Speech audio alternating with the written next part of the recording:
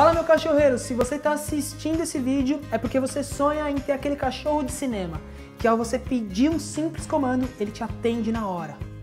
Eu desenvolvi um programa de aulas para que pessoas comuns consigam adestrar e elas mesmas colocarem esses comandos de obediência.